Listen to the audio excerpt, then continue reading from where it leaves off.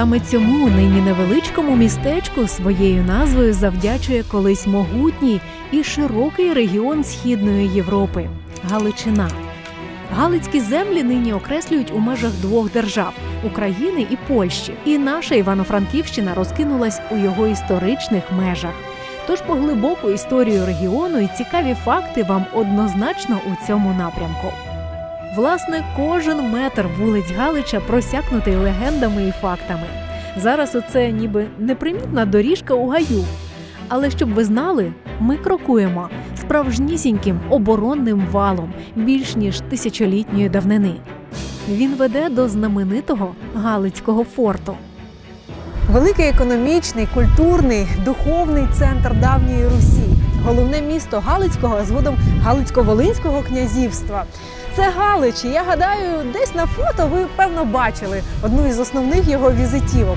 Це єдина вціліла башта тутешньої знаменитої фортеці. І колись на її сторожі стояла тисяча вояків, озброєних гарматами і чималими припасами вогнепальної зброї. Велетенська трикутна споруда з шістьма вежами і розвиненою системою підземних казематів. Так Галицький замок здебільшого описують у новітніх джерелах. А от яким був перший форт на цьому місці, історики досі не можуть визначитись. Єдине, у чому сходяться, що на початку 12 століття він був дерев'яним, а згодом уже із 14 по 15 перебудовувався кілька разів і зажив слави одного з найбільших на землях Галичини. Та про ці деталі в місті є кому розповісти. Поцікавтеся. А от що точно не викликає сумнівів у мене, так це місце розташування. Із височенного пагорба проглядається і Дністер, і місто, і все, що далеко за його межами.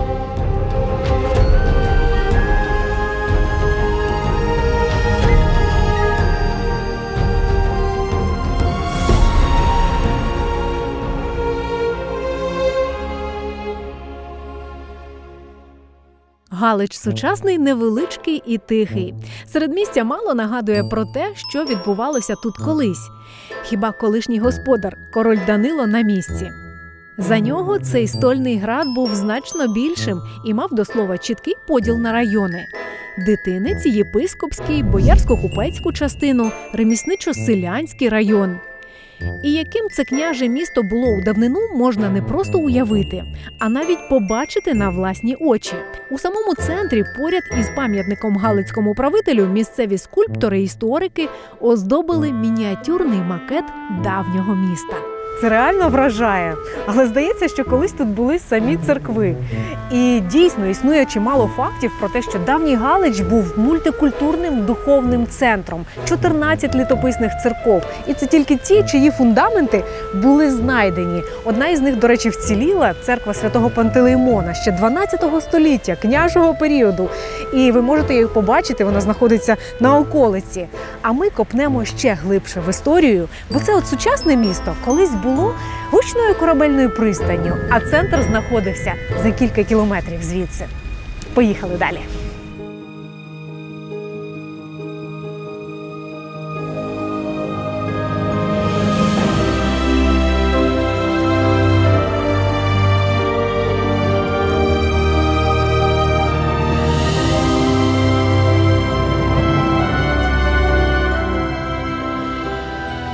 Ну ця картина вже більш подібна до давнього Галича, столиці сильної самостійної держави, місця, де жили монархи, де приймались доленосні рішення. А вже ж це реконструкція, але погодьтесь, реконструкція вражаюча. І, до речі, вона на своєму історичному місці, бо саме тут археологи віднайшли дитинець стольного града. Ходімо зустрінемось з місцевим істориком і розпитаємо, в чому ж сіль і чи бували тут кельти. У наш час Крилос частина національно-історичного заповідника Давній Галич.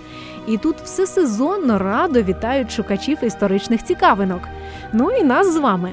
І повірте, Крилосу є чим здивувати своїх дорогих гостей.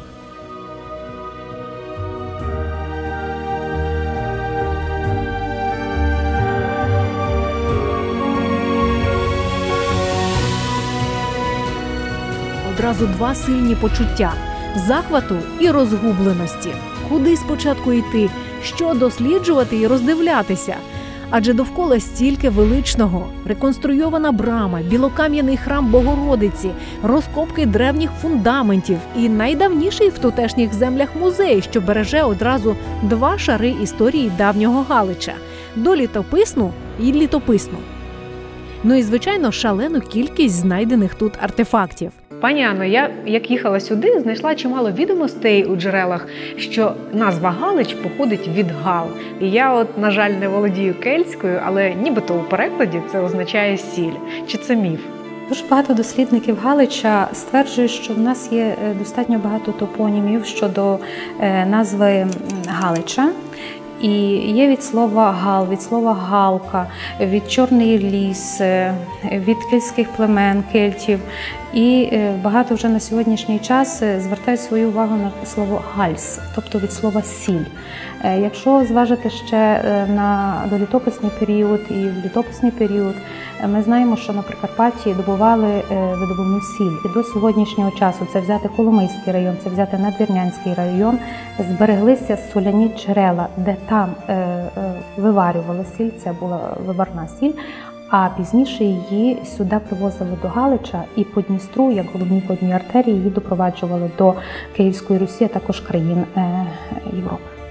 Сліди кельтів це вам окремий квест експозиційними залами музею. Там їх чимало. А от ті племена, що цікавлять мене зараз, це напівмістичні білі хорвати, знані на Прикарпатті як надрозвинена східнослов'янська культура, що гармонійно співіснувала із прикарпатською природою. Тут у Крилосі вони мали укріплене городище, і тут зародився праобраз міста. Обіцяла ж вам таємниці.